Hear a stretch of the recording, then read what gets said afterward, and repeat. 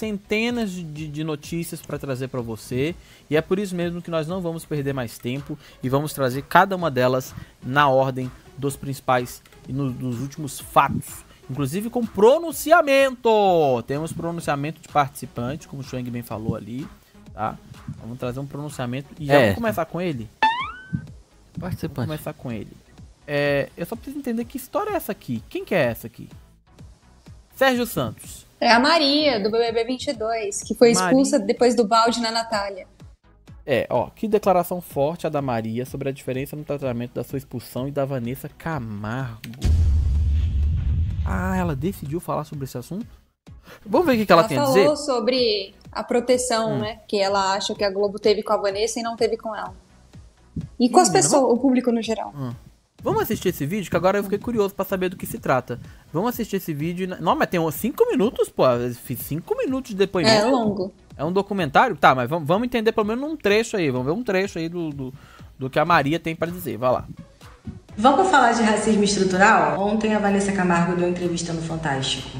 Isso me fez refletir várias coisas. A Vanessa saiu do Big Brother da mesma maneira que eu saí, mas eu não vejo o mesmo tratamento. Quando eu saí do programa, a minha equipe da época também me orientou a fazer um vídeo. Eu já tinha pedido desculpa pra Natália dentro da casa. Na hora, eu pedi desculpa pra Natália minutos depois, horas depois. Pedi desculpa de manhã no raio-x, mais uma vez pra Natália, pro Brasil, pra família dela. Eu saí do programa, o único que eu fiz da Globo foi Domingão do Hulk, onde eu também pedi desculpa mais uma vez. E no meu pronunciamento eu disse que 28 dias de confinamento não definem toda a minha história, toda a minha trajetória e a pessoa que eu sou. A mesma coisa que a Vanessa falou no Fantástico, que 55 dias de confinamento não definiu os 40 anos de vida dela. Mas é engraçado que no meu caso, definiu. Eu não posso me pronunciar sobre qualquer tipo de pauta que as pessoas sempre me atacam sobre esse mesmo erro. A Vanessa ficou alcoolizada, foi até a cama do Davi e bateu nele. Se o programa não interpretasse como agressão, ela não teria sido desclassificada como eu. Então, sim, também foi uma agressão. Eu participei de uma dinâmica onde eu sou obrigada a jogar uma água suja em outro participante e o balde bateu na cabeça dela. As pessoas falam que foi proposital, as pessoas falam que eu era louca, desequilibrada, e até hoje eu tenho que ouvir isso, que eu sou uma pessoa totalmente agressiva. Sendo que, se a dinâmica estivesse correta, eles não teriam feito nos anos seguintes que um dummy participasse da dinâmica, para que os participantes não tivessem contato direto. As pessoas respeitam o Não, mas peraí, peraí, peraí, peraí, peraí, eu vou ter que interromper aqui, porque, né? Vamos lá. É, contra a imagem não tem muito argumento aí para Maria, né? Eu entendo a primeira parte da fala dela, mas a imagem é evidente. O balde acerta a cabeça da, da Natália, né? Isso aí não tem como ela culpar mas ela não tá a negando isso. É, é, ela não nega, mas ela também meio que transfere ela um pouco tá da responsabilidade para a direção que pensou numa ela dinâmica. Ela só tá dizendo que se fosse uma dinâmica é, que evitasse esse problema, porque é assim, se não tivesse chance disso acontecer, do, do balde cair, do ela estaria lá. Ligar, por que que, é, por que que agora colocam o dummy para fazer, entendeu? Acho que é um ponto aí que dá para se considerar. É, é um ponto que parece que foi uma escala de aprendizado, né? A emissora entendeu que errou e não quer cometer o mesmo erro, e aí, nesse caso, é, colocou agora os dummies para jogar. Beleza, foi depois do episódio da Maria, aprenderam com o erro. Vamos lá. Aldo da Vanessa Lopes e o estado que ela ficou depois que ela saiu do programa. Ela teve a oportunidade de falar sobre isso no Fantástico. Eu entrei no programa com hipotireoidismo, informei isso várias vezes e ninguém nunca me deu o benefício da dúvida se aquele momento foi ocasionado pela dinâmica do confinamento, que é totalmente estressante, pelo estado que eu estava da minha saúde, onde o hipotiroidismo precisa de uma rotina de sono, de alimentação, precisa de um ambiente menos estressante e tudo que eu não tinha era isso naquele momento. Então, sim, eu estava totalmente regulada na minha saúde, mas isso ninguém fala. Eu saí do programa, eu tive falar. fobia social por muitos meses.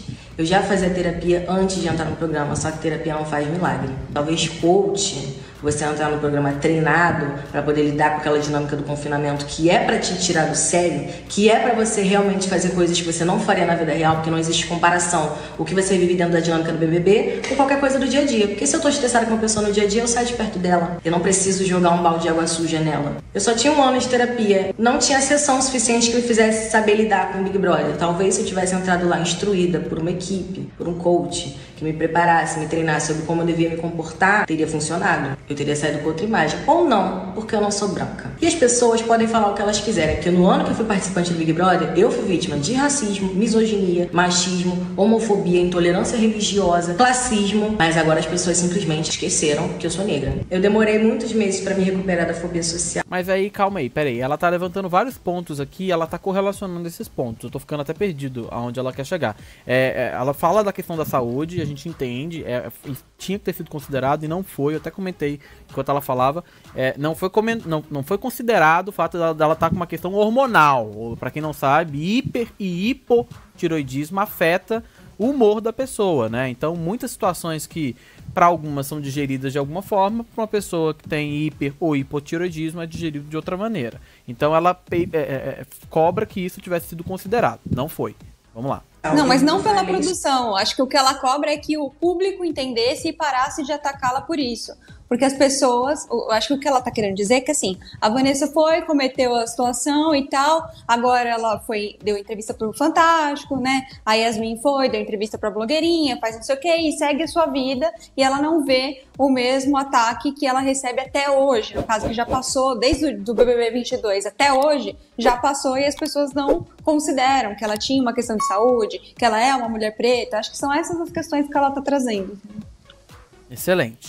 Vamos continuar o vídeo aí da Dona Maria. Vai lá, Maria! Sobre isso aqui na internet, porque se eu falasse, eu estaria me vitimizando. Mas é engraçado como as pessoas não me viam como uma menina de 21 anos, que era o que eu tinha na época. Hoje eu ainda vou fazer 24. Me diz você, pessoa mais velha, quem você era com 21 anos de idade? Será que você teria atitudes tão grandiosas dentro do BBB? Até os meus 17 anos eu tinha vivido dentro da bolha da cidade alta. Quando eu saí da favela que eu pude reconhecer como o mundo funcionava de fato, inclusive o racismo estrutural. Eu explico para vocês como funciona o racismo estrutural. Ele não me dá a oportunidade de errar duas vezes. O racismo estrutural é uma pirâmide onde eu estou na base dela. Eu ainda estou um pouquinho mais acima do que as mulheres retintas, do que as mulheres trans, do que as mulheres gordas, mas eu ainda estou na base dela.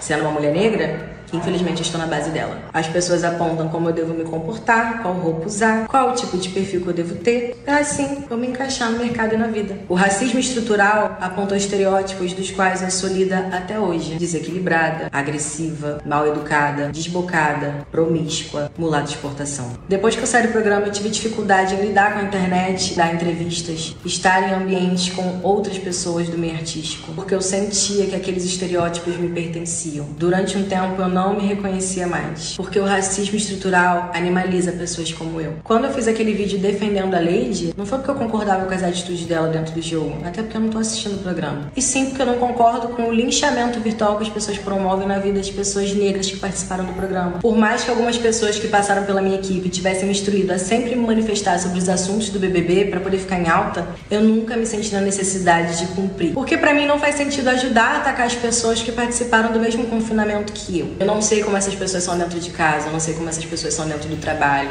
Eu sei o que a edição mostra ser um perfil sobre ela. Eu sei que as páginas fofoca me tendenciam a pensar sobre os participantes. Então esse vídeo não é pra atacar Vanessa Camargo e dizer se ela tá errada ou não. É sobre racismo estrutural e o tratamento com pessoas brancas e pessoas negras diante de seus erros. Vejam como saiu a Raquel Sherazade, Vanessa Camargo, Yolande Bezerra. Vejam como eu saí, como saiu a Carol Conká, como vai sair a Lady Ellen. É só isso. Nossa, impecável esse final aí. Esse, esse, final dela falando sobre a, a forma como as pessoas saem do reality show quando são pessoas retintas, pretas, enfim, é bem diferente da maneira como saem pessoas brancas, né? É, até hoje tem gente que, que, que, acha legal e bate palma pro comportamento que a Deolane teve na Fazenda, por favor, né, galera? Pelo amor de Deus, aquilo ali foi um, uma tortura psicológica para quem assistiu e imagina para quem tava lá dentro, né? Quem, quem teve que conviver com todo aquele caos que foi aquela Fazenda, né? Foi terrível e felizmente a Fazenda do ano passado superou muito bem essa questão, certo? Tá aí, portanto, a polêmica envolvendo a ex-BBB Maria. A gente quer saber sua opinião. Coloca nos comentários. Vamos agora ao comentário que a gente acabou de receber no chat da nossa live. Porque afinal de contas, o Bora Comentar é interativo e você pode participar Agora o Shang descobriu que ele tem o efeito da bomba, ele tá apertando sem querer. Mas antes, antes da gente continuar, meus amores, tem 4.300 pessoas, só 1.400 likes. Explodiu, Todo mundo cli clicando aí no chat, clica ali no xizinho do chat ao vivo, aqui ó, clica bem aqui onde eu tô apontando meu dedo, clica aqui e deixa, por favor, o seu, o seu like.